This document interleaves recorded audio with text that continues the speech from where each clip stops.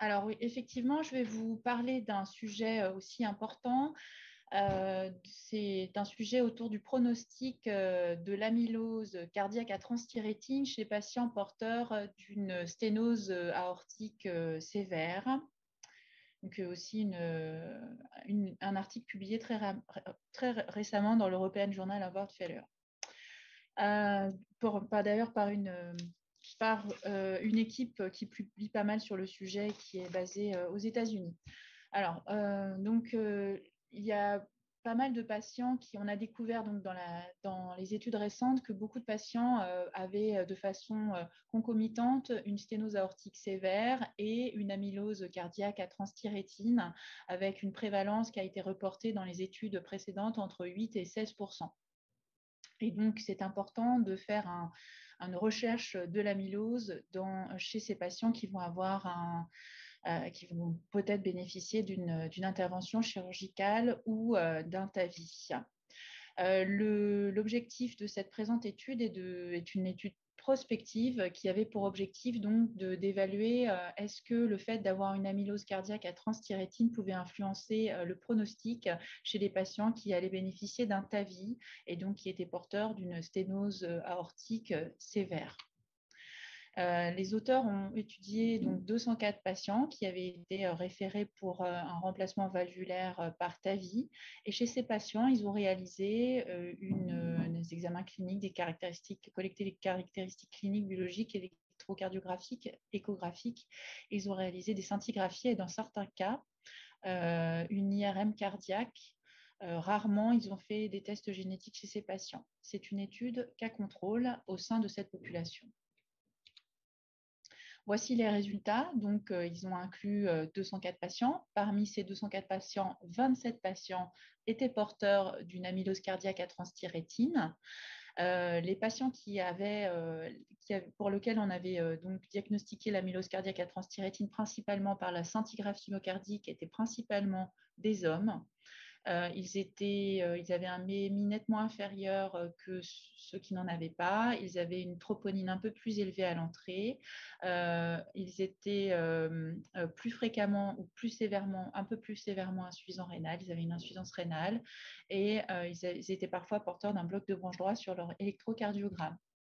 D'un point de vue échographique, euh, ce qui est assez notable, ah oui, et ces patients, excusez-moi, c'était des patients aussi, euh, les patients porteurs d'une amylose cardiaque euh, à transthyrétine étaient principalement, avaient un caractéristique de, de RAC qui était principalement des low flow, low gradient. Euh, donc, quand on regarde un peu en détail euh, ces, caractéristiques, les patients porteurs d'amylose cardiaque à transthyrétine avaient une fraction d'éjection plus basse que les autres, une masse VG plus importante qui était principalement euh, liée à une épaisseur de septum interventriculaire plus élevée. Ils avaient aussi une dilatation de l'oreillette gauche. Ils avaient une dysfonction, des signes de dysfonction diastolique plus marqués que ceux qui n'avaient pas d'amylose cardiaque. Euh, concernant le pronostic donc, euh, de ces patients, les, sujets ont été suivis sur une durée moyenne médiane de deux ans, mais au total, l'étude a duré trois ans. Et ils ont donc recueilli euh, les, événements d'essai ou hospitalisation pendant la période de suivi. Euh, ce qui est notable, c'est que finalement, il y avait autant de décès euh, dans euh, la cohorte de patients chez les, donc les, cas hein, d'amylose cardiaque à transthyrétine. Qui, donc, ils, ont, ils ont rapporté 33% de décès chez ces patients versus 31% chez les autres patients. Il n'y avait pas de différence significative, statistiquement significative.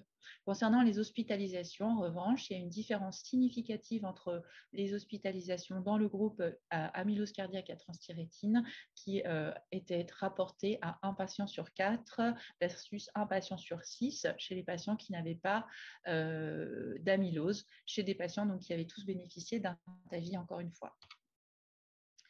Euh, quand on regarde de façon, euh, de façon en, analyse multivariée quels étaient les, marqueurs qui étaient associés à une augmentation de la mortalité dans cette euh, cohorte, eh bien en fait les, paramètres associés à l'augmentation de mortalité étaient un âge plus élevé, une, une, dilatation de l'oreillette gauche et un marqueur de donc une, un épaississement ventriculaire gauche plus notable chez les patients.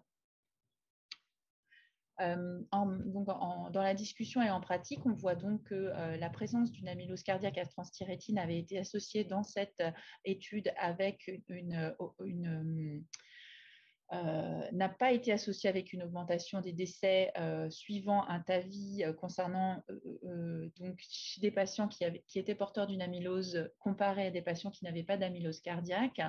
ce, qu'on peut, ce que les deux auteurs ont noté, c'est que finalement, la surmortalité chez ces patients bénéficiant d'une intervention pour le RAC dont certaines études avaient été plus marquées, enfin en augmentation des décès euh, dans, une, étude où les patients avaient bénéficié de chirurgie, mais dans deux, études récentes, le TAVI n'était pas associé chez les patients porteurs d'une amylose à une augmentation de la mortalité. Euh, par contre, on peut noter que la mortalité euh, reste quand même assez élevée chez cette population, dans cette population de patients qui étaient quand même à, euh, faut le noter, à, relativement au risque. Hein. donc, c'est des patients plutôt âgés avec une cardiomyopathie. Euh, voilà. Et euh, concernant les réhospitalisations, la présence d'une amylose à transthyrétine a été associée avec une augmentation de la fréquence des hospitalisations pour insuffisance cardiaque, surtout dans la première année qui suivait le TAVI. les auteurs ont expliqué cette ce phénomène par euh, la possibilité d'un phénotype euh, de cardiomyopathie un peu plus marqué chez les patients porteurs d'une amylose.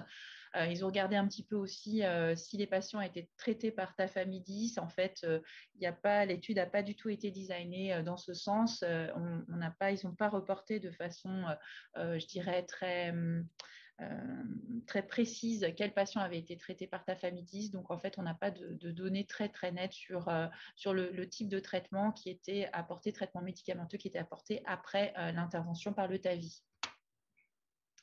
Euh, quelques limites sur cette étude. Euh, donc, les patients ont, bénéficié d'un euh, diagnostic sur la scintigraphie principalement, hein, rarement sur l'IRM et encore plus rarement sur un génotype systématique. Il n'y a pas eu d'informations sur la qualité de vie et finalement, les, les, intervalles de confiance sur la thérapie étaient relativement bas, ce qui donne un petit peu de limite sur les analyses statistiques. Merci de votre attention.